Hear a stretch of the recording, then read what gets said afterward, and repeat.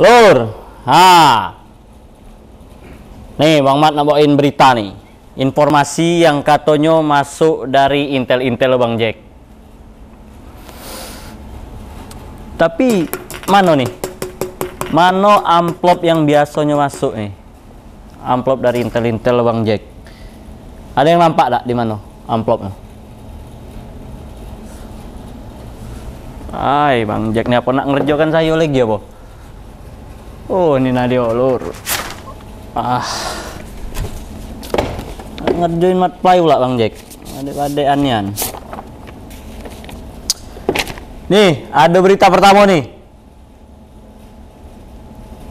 Ah, nih ada tentang peti. Tahu tak apa peti? Penambangan emas tanpa izin. Jadi berantas peti Polda Jambi tutup 6 lokasi peti di Batang Asai. Di Reskrimsus Polda Jambi menemukan 6 lokasi penambangan emas tanpa izin di tiga desa kecamatan Batang Asai, Kabupaten Serolangun. Beberapa beberapa barang disita petugas dan langsung dilakukan penutupan. Nah, yang mana beritanya? Ini dia beritanya.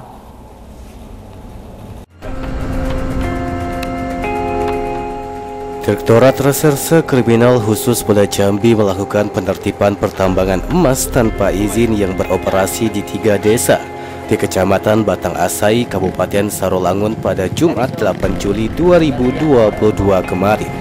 Tiga desa yang menjadi sasaran kali ini yakni Desa Sungai Keradak, Desa Batu Empang, dan Desa Muaro Sekalo. Masing-masing ditemukan dua aktivitas peti. Untuk sampai di lokasi peti itu, polisi harus menggunakan sepeda motor trail melewati medan tanah dan tanjakan curam. Direktur Reserse Kriminal Umum Polda Jambi Kombes Pol Christian Tori mengatakan, saat di lokasi tambang peti pihaknya tidak menemukan adanya aktivitas peti. Namun di lokasi ditemukan tanda-tanda aktivitas peti yang baru saja dilakukan beberapa waktu lalu karena adanya dompeng dan penyaring emas. Untuk memastikan lokasi tidak digunakan lagi untuk aktivitas peti, kepolisian langsung membakar dompeng dan penyaring emas di tempat. Eh, lokasi tempat mungkin bisa lihat sendiri ada beberapa bekas-bekas kegiatan pertambangan ini ya yang mungkin kami yakin satu hari atau dua hari sebelumnya ini ada di sini terjadi ya dan kami barang bukti tersebut kita amankan dan kita musnahkan ya. selanjutnya kita akan menelusuri kita akan lacak kita akan cari tahu siapa orang-orang yang telah melakukan kegiatan tambangan di sini. Ya, kita minta supaya masyarakat bantu kami, dukung kami untuk menindak para pelaku ini. Karena kalau aktivitas kegiatan ini dibiarkan, maka dapat dipastikan masyarakat sini akan mengalami kerusakan lingkungan. Lebih lanjut, Kombes Pol Tori mengatakan aktivitas seperti ini sangat merusak ekosistem yang ada di aliran sungai.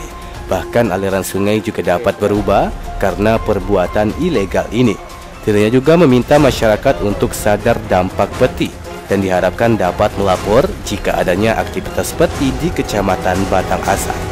Dimas Sanjaya, Cek TV melaporkan.